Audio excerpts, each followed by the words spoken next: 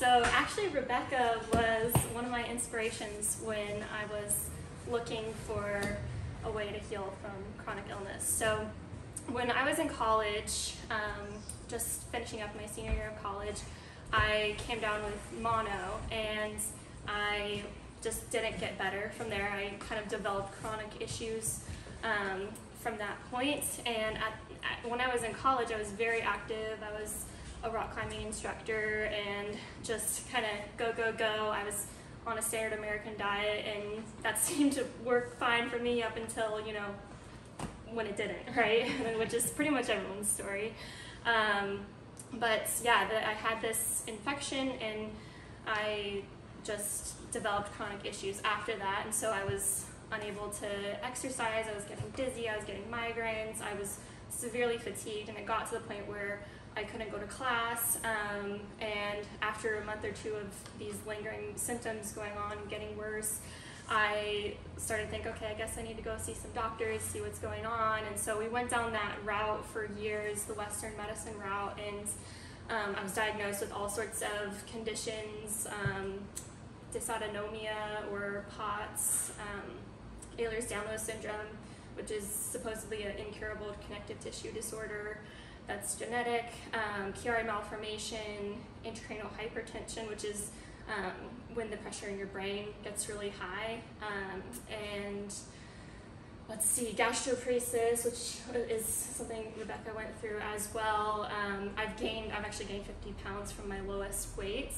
Um, but yeah, so I went down the Western medicine route. I actually had five brain and neurosurgeries um, and was recommended to have more, but a year after my uh, last neurosurgery, I, I just was so sick. I, I couldn't get out of bed. I was having episodes every day of, you know, non-epileptic seizures. I was having, um, you know, I couldn't like look at light and sound. Like sounds could just be like crazy painful and um, just having the craziest symptoms that I, I really didn't even know was possible. And um, I, I really felt like I was dying every day. And I'm sure that's something that Rebekah can relate to. But I was like, I, I can't go through with having more of these surgeries that aren't helping me. And it was, what's interesting about it is when I had those surgeries, the doctor would say, "This is the worst case I've ever seen. You know, you're gonna feel so much better." And it just it didn't happen. It wasn't helping me. And um, so then I started to look into more alternative routes of healing, and I started with just like acupuncture and just started going a different way, seeing naturopath. But that still wasn't really what I needed, and so I actually heard about the lion diet uh, from Mikhaila Peterson's story, and I was becoming interested in that, but I was nervous because I was so sick. I was like, I can't afford to get any worse than I already am, and uh, so I did a lot of research on it from my bed, um, and I watched a lot of you know Ken Berry's videos, and eventually came across Rebekah's story. And at first, I was um, really nervous about doing the carnivore diet because I was so underweight and everybody was talking about weight loss. And so I was like, well, I can't, I can't lose any more weight. And so I was looking for stories like Rebekah's where people were able to gain weight and I kind of realized, okay, it looks like this is possible. And so I decided to go for it and I I started the carnivore diet and um, within a couple of months I was able to start cooking my own food. So I wasn't able to do any of my own cooking um, before starting carnivore. So I would I would bring a chair up to the up to the stove and I would cook my beef and and that was just an exciting thing for me. And just slowly I started to get more functionality back um, after going carnivore. And I one of the biggest things was I didn't have those really severe fatigue crashes. So like when I was really sick, I if I overdid it, then I could be, you know, in a dark room with no sound for three days from just the overstimulation of, you know, being overdoing it. And um, so that was a really big progress when I started carnivore was that I was able to um, go out and do some things, you know, go to family dinners and um, start to see some friends sometimes. And so that was really a huge blessing. And I, for a while, I did, um, I went stricter. I did the Lion diet and just did beef, salt, and water sort of thing. And um, that ended up, you know, I still was making progress, but it ended up not being the, the right diet for me. And so I started adding back in more things like, you know, eggs and some chicken and some pork, and uh, that worked better for me. I felt better doing that than I did stricter. So I know it's something Rebekah often talks about, like stricter isn't always better. And um, but I still was pretty sick. Like it, it was interesting because you know when you come from such a low point, you you're like, oh, I'm doing amazing, but really I was doing still horribly. mm-hmm. And so you know, I like to kind of compare it to a battery percentage where like, you know, I, I was essentially bedbound, so I was, you know, 1% needing to use a wheelchair to get around and stuff. And then, you know, you know, six to eight months of carnivore, I was maybe at like seven or eight percent, but that felt amazing for me at that time. And um, then I got into, I got interested in brain training and nervous system regulation. And basically, the idea with that is when your nervous system is stuck in fight or flight mode, which most people that have chronic illness do have that issue, then that's not conducive to healing, right? So you can't heal when your body is stuck in a chronic state of fight or flight. So you can be eating the perfect diet, you can be carnivore, you know, eating just perfectly right and not healing because you're stuck in a chronic state of nervous system dysregulation. And so I started doing a brain retraining program where I spent an hour every day visualizing myself healthy and joyful. And I, it changed my life. Like I went from, you know, not being able to walk to my mailbox to being able to walk a mile in just a couple of weeks, like you know, three to four weeks of doing this brain retraining. And so this that was a huge, huge part of the piece of the puzzle for me with my healing journey was you know, the nervous system regulation side of things because, you know, I had I had a good diet. I was getting the right nourishment, but I don't think my body was digesting the nutrients right because I was stuck in fight or flight. And so when my nervous system started to calm down and I, I started to feel safe in my body again, because when you're so sick, like you just feel really unsafe in your body. And, and that's understandable because like, how could you not, right? And so just consistently like signaling safety to my brain through just doing things like spending time in nature or getting out to see the morning sunlight, you know, reducing blue light exposure, um, doing grounding, and doing these visualizations where I was imagining myself healthy and strong. Um, I would just visualize, you know, just walking and feeling good over and over and over again, like bringing in all the five senses, and that the idea with that is that your brain doesn't know the difference between visualization and reality. And so if you visualize it enough, then it will start to manifest into your life. Um, so I really, I really saw a new level of healing when I brought in the nervous system regulation side of things along with the diet. And it's interesting because in the nervous system regulation space, a lot of people are kind of like, well, Rachael, aren't you gonna, like, when are you gonna go back to eating normal food? You know? And I'm like, no, like what you eat wires your brain. And so that's a part of nervous system regulation too, is feeding your body the right nutrients. And so I don't have any plans to go back to eating, you know, sugar and seed oils and processed foods. Like I want to give my body the best possible chance to be healthy and what we eat is our fuel, right? So it obviously matters a lot what we eat, especially because, you know, so many people are healing by just changing their diet alone. And so that that's something that you know is is very important to me is you know eating a nourishing diet and prioritizing animal-based foods because that's changed my life.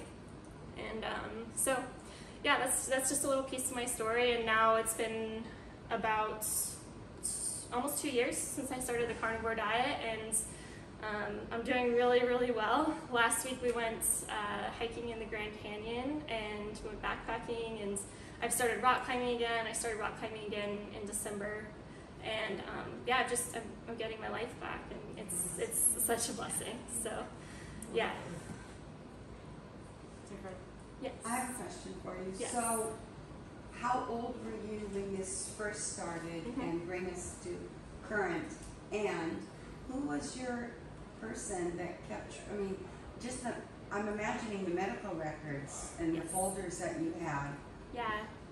So my so the first question was uh, how old was I?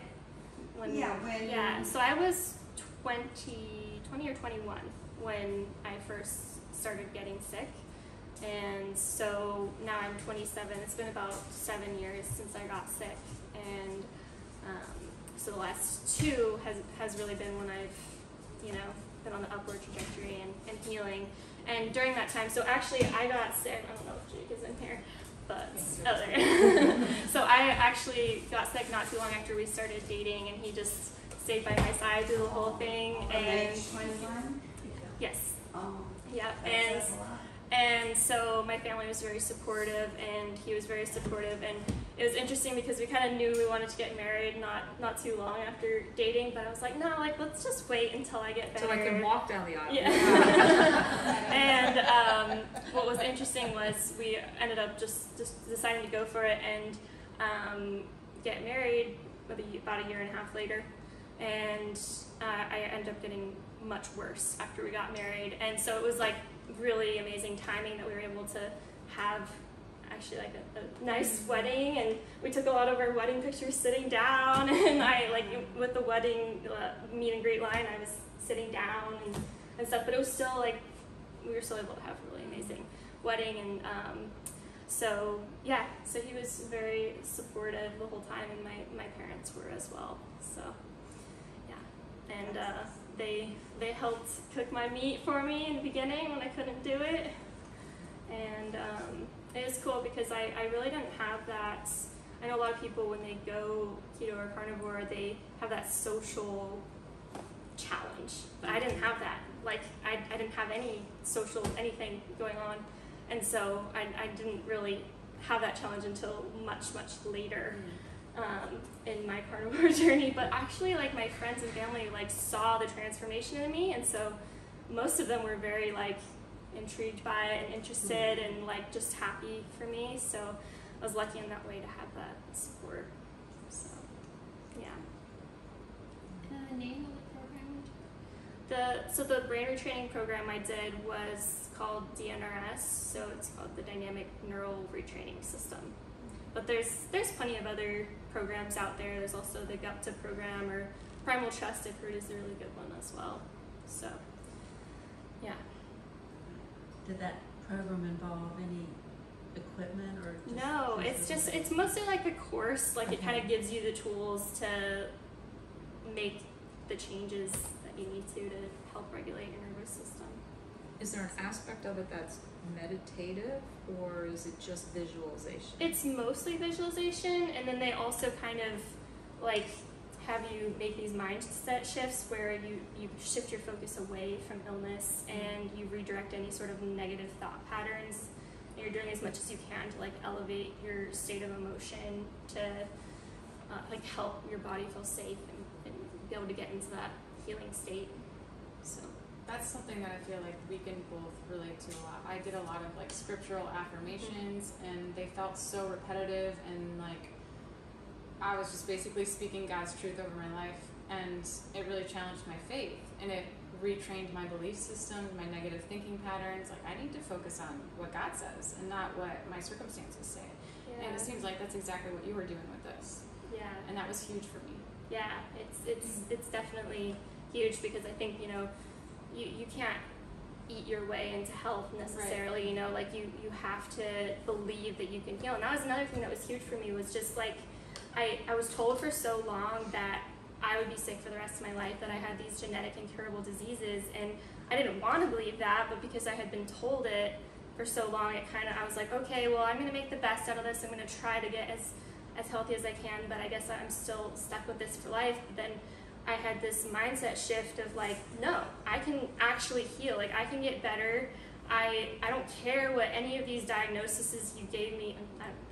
I don't what's the plural of Diagnoses. Diagnoses, yeah. That's weird to say. I don't I don't care what any of these labels that you gave for what I had. I just know that I can get better, and I know like I fully believe that I can heal, and that was that was a turning point for me in my healing journey. Was like just believing that I was going to recover. This is so powerful. Um, and I know you might not be able to quantify, but the surgeries that you had, my daughter has had Chiari surgery. Oh wow! And, you know, and, and I know it is, it wasn't cure-all at the time, that's what you Right. thought would be the best to do. Looking back, would you have done the surgeries that you had? No, I wouldn't have had a single surgery that I had, and um, yeah, it's a hard thing too because my my neck is actually fused from C zero to C two, so I can't like this is as far as I can look, um, and so that still affects me. And that that's if I could go back and change one thing, it would be to not have that surgery.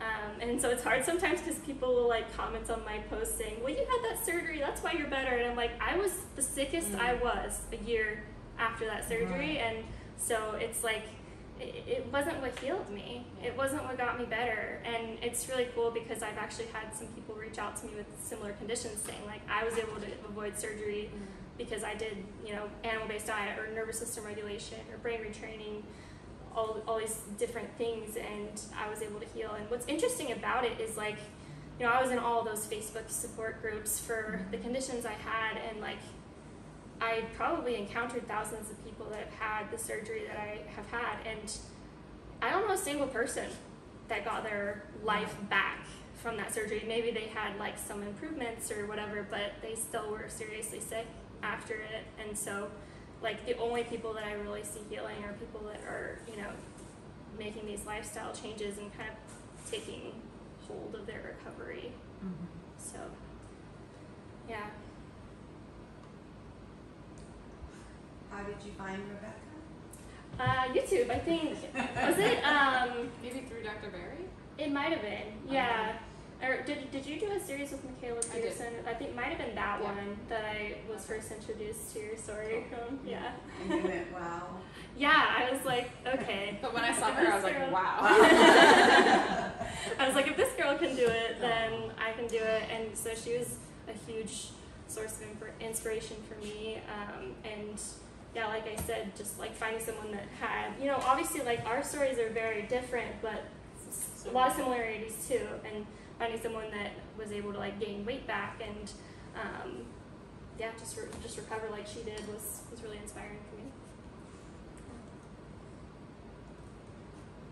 You mentioned that you didn't have to deal with the social aspect because you didn't have that going on, Yeah. and but you had to later. So I Yeah. as a young adult, you probably have a lot. Can you share anything about that? Yeah, um, you know, I honestly I still haven't had too much of an issue with it. Sometimes I feel a bit uncomfortable like if somebody invites us over to dinner and I'm like, I ate before, you know, or like something like that. because that. they're serving lasagna and garlic bread. Yeah, that's, yeah. That's what I always say is the difficulty is Yeah, it's and I don't wanna make people a dinner party. You think, well, I could always just eat whatever meat out of something, and you get there and it's lasagna and garlic Yeah. bread and Caesar salad, and it's like, ooh. yeah, it's it's hard because I think I don't want to make other people uncomfortable, and that's like the main thing for me is you know I don't want to offend someone else. But usually when I tell them, you know, why I'm doing what I'm doing, or if they know anything about what I've been through, then they're very like accepting and understanding of it. Um, yeah, like we went to a dinner at church, and they were all asking us about this this all meat diet and stuff. So it's it's it can be a fun way to be able to share Yeah. some things. Um, I'm which it, assuming he's fully on board. he he isn't actually. He's he's. I called you out. no, he's not carnivore, but he. Where's the hoagies? no He's- hoagies here. He's very pro uh, no seed oils, and so he always checks all his Yeah. food for seed oils, and he eats a ton of meat. So and he does well with that. So I, I always wondered, I saw a lot of people post on the different websites saying that they received such a hard time from their families and friends and I thought about it, 'cause I don't, I don't have any trouble, no, no one ever says anything to me, but I think it's because I'm skinny. It is. They're like, you need to eat meat. you eat fat. Yeah, they don't, they don't Yeah. think I'm risking anything because I'm Mm. skinny. you Yeah. it's really interesting. Yeah, came to realize that over time. Yeah, I always forget like how small meat portions are in like the Oh, normal me world. I'm like, wait, I need like eight of that. yeah. Yeah, Did you ever struggle with any mood disorders? I didn't, thankfully. Yeah, that wasn't too big of a struggle for me. Actually, um, I would say my mental health was was pretty good considering things. Um, I did develop a bit of anxiety after like going through trauma in the hospital and stuff like that. Um, but not too bad, and that's one of the reasons why I was like, oh, I'm I'm pretty chill. Like I don't know this brain retraining thing will do anything for me, but I was wrong, wrong, wrong about that. It's That's awesome. still really needed for me. Um, so, yeah, Is that something you still do to this day on a daily basis, weekly, or just not such an at this point, I'd say like the first like six or eight months of doing it, I was really strict about doing like that hour of visualizations, and now I kind of do it as needed. I, I'd say I do maybe 15 to 30 minutes a day. Um, it's also been really helpful to do like somatic practices. I don't know if you guys are familiar with those. Are you familiar with those at all? It's basically like um, ways to yeah yeah it's it's basically like a, a method of healing trauma and so even just things like um, there's there's a practice where you like put your arm Oh, here like this and just That's like so holding certain postures that kind of like help signal safety Yeah, I saw you do that in music. yeah, I do this a lot. Like, just it, it helps. It it's calming. That's really um, cool. Yeah, just things like that. Or um, I know there's something like where you do like eye scanning and you kind of just um, scan your eyes. Yeah, and try to like look at textures of things Right. and just like bring your brain into the present. Is there a program for that, or is it a part of what you already do? There may be, but I kind of just have picked up on it through like following different people on Instagram and like looking at YouTube videos and stuff. So I haven't done any sort of formal training for that or Probably just Google so that. yeah. I know just- that Irene Lyons, do you know her? Sh- sh- Who? Irene Lyons. Oh, yeah. Yeah, that's what she does, Yeah. so. Okay. Yeah, just like little simple exercises like that have have been helpful for me too. So did you discover the brain retraining on your own, or did somebody bring it to you? That's funny that you asked that. Um, so I actually heard about that program that I did four years before, or maybe even five, before I started it, and it just sounded crazy to me. I was like, that that sounds like a hoax, you know? Like I have a real illness, okay? but uh, then I I just feel like it isn't pre- presented very well sometimes. Like it can be kind of cheesy, and um, the science behind it is amazing. Though it's like it's so intriguing to me, but I I don't know. It's it's hard. Like whenever I recommend it to people, I'm like, but let me give you this like really long caveat and warn you of like it might be a little cheesy, but it works. It's like I mean, it changed my life, so it's um, it's been huge for me. But I think it's also people get caught up in it, like oh, this program healed me. I'm like, no, you healed you. Like it's just giving you tools. It's not like the program is like you have to stick to it perfectly for it to work. It's just like giving you tools and ideas to change, you know, your mindset and like visualize um, healing. Yeah.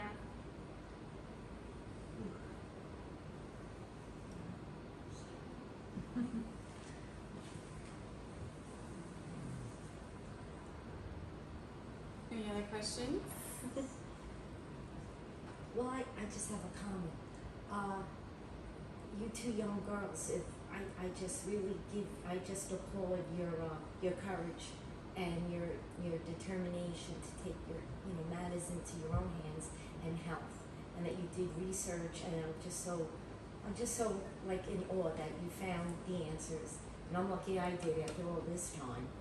But uh, with the, when you were talking about uh, the flight, fight and flight response, with your adrenal glands. I, I mean, how are your adrenal glands today? I had that, and then when about 10 years ago, I had a stage four adrenal fatigue, and then I had to take cortisone. I was I actually was on steroids for a while too. Oh, I had steroids. adrenal insufficiency, Okay. and uh, I'm completely off of medication now. But I was steroid dependent for I think like a year and a half or two years, and I was able to come off of it. That was like one of the hardest things I've ever done Mhm. was to come off steroids. Mm. It was wild. So you wouldn't, you wouldn't recommend that's a route to go? Oh no no no no no no. So the steroids helped you when you were in the fight or flight? I Mm. mean, you think it helped you. Well, That's so they what really prescribe? happened was they put me on like a bunch of steroids from the the hos- after the surgery, and after that I like I I was like in bed and I like couldn't move. I felt like I was like passing out while laying down. Like I I just like couldn't think. I couldn't like it was the craziest thing. Like I felt like I was just like slipping away. I felt like I was dying. And um, then they realized that like even just giving me like these high doses of steroids in the hospital was what I think triggered me to like need them or something. And so um, then they started giving me the steroids after that. And um, yeah, anyway, I was eventually able to, to come off of them, thankfully. And I, I never will go near a steroid again in my entire life because of that. But um, yeah, so I don't think that's a that's a good. That wasn't part of my healing at all. Yeah. Sweetie, did you go through any kind of a detox program or anything after all those chemicals? Um, I no, I, did I you didn't. just go to the whole, the meat, the Whole Foods? and stuff Yeah, actually, before I did carnivore, I did about a year and a half of chronic Lyme treatment. Did you ever do Lyme treatment? I did I did ozone therapy, Okay. but I walked away because I was like, this is like a lifetime thing. Yeah, Like this is not Yeah. sustainable. yeah. So I actually I did like a year and a half of, of uh, Lyme treatment. It was kind of a mix of like antibiotics and uh, naturopathic Lyme. Did you do like Herbs IV and treatments and stuff. stuff? Um, not a lot. Okay. But just on the supplements. yeah, just oral stuff. But it kind of got me from like maybe one percent to two percent. It helped a little, little tiny bit. But I was like, if this is how much progress I make in a year and a half in this, like I need something different. And so, I, I wouldn't. That's another thing that I wouldn't have done if I were to go back. But you know, it's it's part of my story for a reason. I think. Yeah. So, mm-hmm. yeah. I get the same kind of kickback from people. They're like, "Oh, well, you got ozone therapy. That's why you're better." I'm like, "That's not my story. That's Yeah. I was not yeah. better. I got worse." yeah. Yeah. Do you find that you include anything else other than fully animal? For quite a while, I didn't. Um, so I was strict carnivore for a year and a half, and these last few months, I've added in a little bit of fruits, um, a little bit of just I don't know, like plants, I guess you could say here and there. Like I try to make sure it's like properly prepared to like lower oxalates and whatnot. But um, And is it just for the desire for variety or No, it's actually not, which which is interesting. Like I just kind of got to a point where I was like, I don't feel right eating only meat anymore, which is weird. But like, I just felt like I needed to try adding a little bit of other, you know, as high quality as I could find source foods, um, and I I felt like that was the right route to go. It's really interesting because I kind of prefer to be carnivore. Like it's so easy. You literally just like cook meat, and that's just so easy. You know, you can keep it in your freezer, and you don't have to worry about fresh food and stuff. Um, but yeah, it just it kind of felt like the right way for me to go was to be more of like animal based. Carnivore. yeah, I think like for me, it's really interesting. I, I have a question for you. Wait a Um, minute, I'm not done with you Oh, yet. okay. so Um, on that line of okay. thought though Yeah. is so are have you at all in this progressive Mhm. journey of yours toward this point where you're at Yeah. now um, been concerned about or tried getting your ketones higher for any particular reason Um, I haven't. You know, I haven't been much big on like tracking things, and I think everybody's different in that regard. Like, for me, if I get like hyper focused on something, it's just like not healthy for me, and so I just am kind of trying to be a little bit more intuitive with things and just like trust. Okay, like I'm nourishing my body well. I'm Yeah. eating. I'm focusing on animal based foods. That's the majority of what I eat, and it's helped me so much and so that's kind of what I try to focus on like you know I'm I'm just gonna trust that I can heal the way that I'm going um, and that that seems to have worked well for me but um, that's not to say that you know tracking certain metrics can't be helpful for, for others. And would you say and just out of my curiosity to understand kind of where you're at, do you eat fruit every day? Um, not a lot of fruit. I'd say probably, you know, three or four or five days a week. I eat Because- some. And then my my thought goes Mhm. back to listening to your story. It Doesn't seem like you ever had a sugar addiction, binge eating disorder because you said, "Well, I feel comfortable now. I feel like Yeah. I'm eating intuitively," and I intuitively, after eating a piece of pineapple, want to Mhm. eat the whole pineapple. Oh, That's my intuition. Okay, yeah, I think that's that's that's probably yeah something I don't I don't struggle with. And what was interesting is the first um, the first thing I had a bite of uh, a strawberry. That was the first thing that I had that wasn't carnivore after like a year and a half. And I feel like most people that do carnivore are like, well, I sometimes try a little bit of this and that, but I was like so intense about it. I was like, I'm not even gonna have a, a Nibble. nibble of anything I do the else. Yeah, and I was like, I'm gonna cook everything to know exactly what's in it. And so I think I got a little too hyper focused on that. But um, I took, I ate a strawberry and I was like, hmm, wow, that was really sweet. That was good. And like, I just Yeah. did. I felt like I didn't need anything else. I didn't need any more. I could not ever think about a strawberry again after that. Like, it, it, I, I, that hasn't been a struggle for me. Um, specifically, like I feel like I can always stop when it comes to anything that's sweet. What Um, vegetables do you eat? I don't really eat vegetables. It's like the one thing Just that, some fruit. Yeah, um, I, I, yeah, I do have a little bit of avocado. Um, and I, I have had like, I, I, I'm at a keto retreat, Bill. Um, we Tell don't you judge guys. it. We still have Jake to Yeah. I, I have had like some, um, like boiled organic potatoes, and I've made like homemade organic uh, masa tortillas. Oh, that looks really good. Um, and so having little bits of that, but it's like I always make sure to prioritize like my animal protein and fat, and then have if I'm gonna have carbs, like have a little bit. But I'd say like the most I eat is like thirty to. I mean, the most I've probably eaten is like eighty grams, which that doesn't happen often. But She posts her plates on Instagram, and I always appreciate like I see your little clementine or something, and then Mhm. she's got all these animal foods, and so it's very obvious that you're That's the- prioritizing that's the, the fat and the protein, and it's yeah, like yeah, that's not going to spike the blood sugar. Like, yeah. So here's my question for you. Okay. Um, so I tested to be very, very low in vitamin C, like extremely low. And um, I did some research on it and found that vitamin C is necessary for the breakdown of histamines and it's also important for immune function and it's important for the synthesis of collagen. So someone that was recovering from a connective tissue disorder, you think that would be pretty important um, and also obviously have